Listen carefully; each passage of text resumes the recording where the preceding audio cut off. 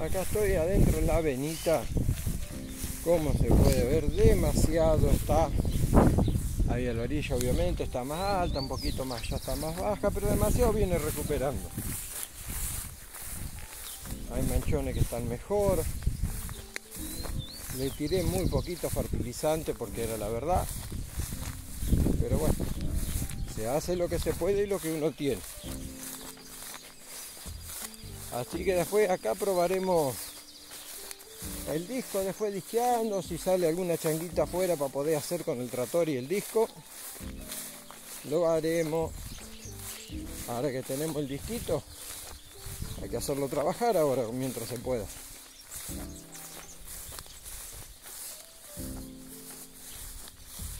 Bueno, vuelvo con ustedes en un rato. No está gran cosa, obviamente, la avena, pero bueno no quiere llover.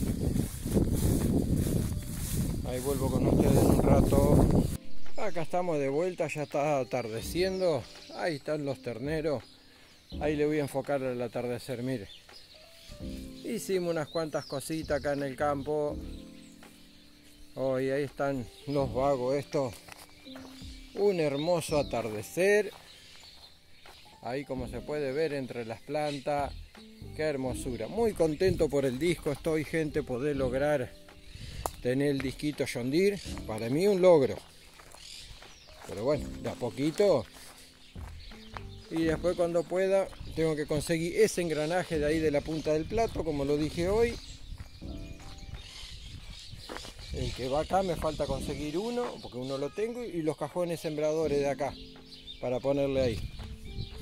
Así que bueno, gracias por la buena onda. Buen día, ¿cómo les va? Esperemos que anden bien. Gracias por el aguante y la buena onda. Mire, les voy a mostrar qué es lo que estamos haciendo ahora. Estoy acá en casa. Acá estamos con las batarazas. Estoy trabajando para las batarazas. Mire, acá les voy a mostrar el almaciguito de tomate que hice. Era todo tomate, desde ahí donde está esto clavado acá, para allá. Y como es y la van comiendo los bichos, mire cómo va quedando. Hay algo abajo que la va haciendo seca y me queda en ese manchoncito nomás de tomate. Qué lástima. Bueno, para hacer una pequeña huerta como hacemos siempre acá, así que ahí traje la alfalfa.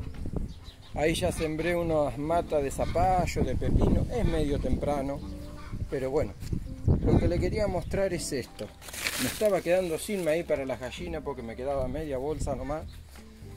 Y traje maíz en espiga desde el campo acá está este picho. Y le quiero mostrar, ya lo he mostrado en varios videos que estoy desgranando maíz con la desgranadora antigua, están los marlos. Acá está el maíz. Hice eso y me queda esa otra media bolsa y ese poco ahí. Debe haber dos baldes más de 20, una cosa así. Con la desgranadora antigua esta, pero para mí es re útil, porque yo este maíz lo junto a mano, rastrojeo, que mi hermano me dio permiso para juntar en el rastrojo de maíz y hago comida para las gallinas, para los terneros, lo que sea. Igual ya me va quedando poquito maíz, pero bueno, no importa. Algo iremos a comprar después. Bueno, era para mostrarle eso. Gracias por la buena onda. Comenten lo que quieran. Si les gusta el video, regálenme un me gusta. Por ahí en un ratito los vemos. Acá estamos de vuelta, gente. Mire, ahí juntamos esa bolsa de espigas. Digamos, de dos bolsas en espigas sale más o la mitad la mitad de marlo y la mitad de maíz. Acá yo tenía media bolsa, un poquito menos de media bolsa. La dejé bien llena la bolsa, hice comida para las gallinas, debe tener como 60 kilos esa bolsa, por eso no la muevo. Saqué ese tarrito y este balde de 20 acá. Demasiado. Y eso lo guardamos para el invierno para echar en el hogar. Para prender fuego, hace una brasa bárbara los marlos, así que no se tira nada gente. Hicimos comida para las gallinas y marlo para, para el invierno que viene, para el hogar, obviamente que ya lo apagué, ahora no lo prendo más. Bueno, era para mostrarle eso. Los vemos, que otra cosita le puedo estar grabando. Así que estuvimos haciendo comida para las gallinas, estirando un poco los músculos con la desgranadora antigua. Buen día, ¿cómo les va?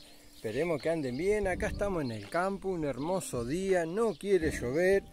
Acá estamos con la bordeadora cortándole el, trigo este que le re de semilla cuando lo sembré con un poco de ortiga. Y acá le voy a mostrar los terneros. Después igual los voy a echar acá adentro para que limpien un poco, pero bueno, por ahora para que me rindan más, porque tengo que esperar unos días para cortar la alfalfa.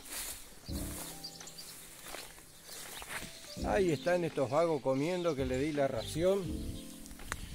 Y acá, como les puedo mostrar, ahí, a ver, esperen. Hay ortigas. Igual el trigo fue un fracaso, pero después le he hecho un poco los terneros y otro poco lo, después le siembro zapallo. Le eché alfalfa ahí y allá. Y ahora en aquel le voy a echar trigo con ortiga y ahí lo voy a completar también. Bueno, muchas gracias por la buena onda, por los comentarios que hicieron, que están como es que yo pude comprar esas herramientitas como así que muchas gracias por los comentarios y la buena onda. De a poquito haciendo sacrificios con la bordeadora con la moto algunas herramientitas podemos comprar. Obviamente que me hacen falta la realidad pero bueno a veces monetariamente no se puede. Así que le agradezco por la buena onda que me tiraron que están contentos que yo pude comprar esas herramientitas pero bueno Vamos a seguir peleándola en el campo, no queda otra gente, como todo trabajo. Ahí los vemos, gracias por la buena onda. Acá estamos de vuelta. A ver qué pasa, estamos con la moto, la bordeadora. Miren de vamos cortando. Esperen que me voy a poner la sombra porque si no el reflejo del sol no se ve bien. Vamos cortando un poco de cardo, de abajo los alambres, al costado del bollero. Mientras limpiamos le damos de comer a los terneros. Es así. Hasta ahí. Y acá les voy a mostrar estos vagos que están comiendo. Ya se comieron la ración de maíz que le di. Y ahora van por el pasto. Está bien que otra cosa van a hacer, si no, pobre bichito. Acá están muy entretenidos.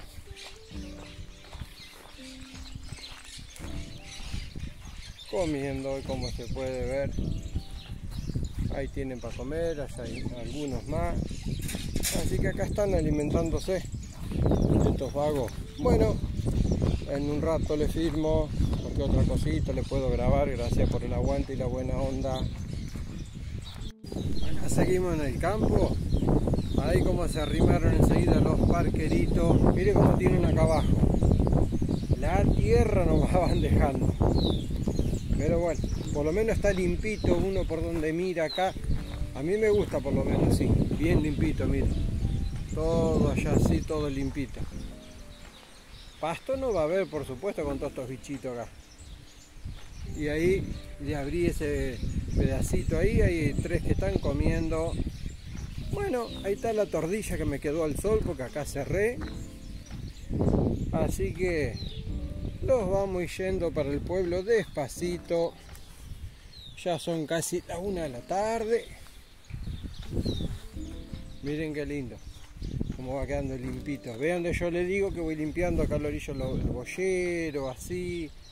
Ahí de este lado también, porque se me caía ahí arriba el bollero y ya venían algunos cardos también. Limpié ahí a la orillita. Y acá donde los eché el otro día, donde están esos rollitos. Obviamente que eso era el mío porque ya los vendí. Que fue el negocio que hice con el tema del pinche. Así que entregué los rollos y, llegamos a un acuerdo.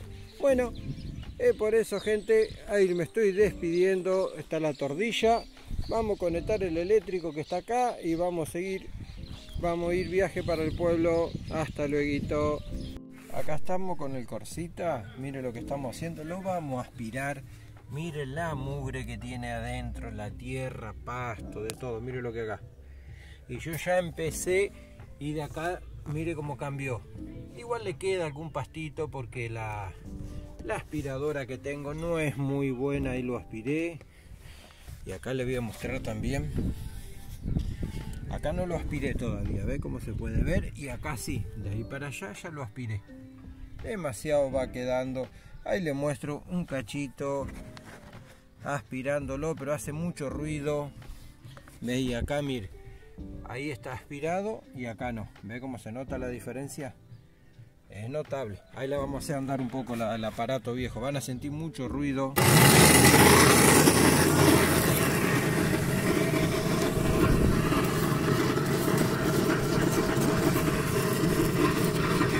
no es gran cosa la aspiradora esta, pero bueno, si lo, sopleteo con el compresor, lo que pasa que vuela la basura de un lado al otro. No, pero va cambiando, mire cómo se nota ahí la franja que pasa. Que le saque un poco demasiado.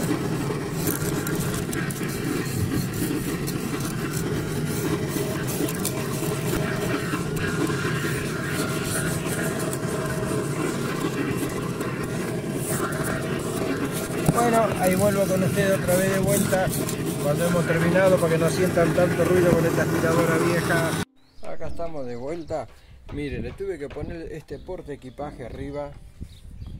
La verdad que no me gusta cómo queda el auto así, fíjense. Pero bueno, como tengo la camioneta rota para llevar cosas, en cualquier momento se lo vamos a sacar.